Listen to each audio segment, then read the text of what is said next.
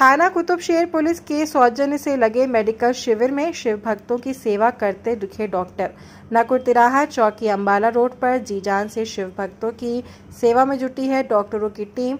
अपनी ड्यूटी के साथ साथ थाना कुतुबशेर प्रभारी सतीश कुमार के कुशल निर्देशन में नकुट तिराहा चौकी प्रभारी वीरेंद्र कुमार भी अपनी पुलिस टीम के साथ शिव भक्तों की सेवा में जुटे।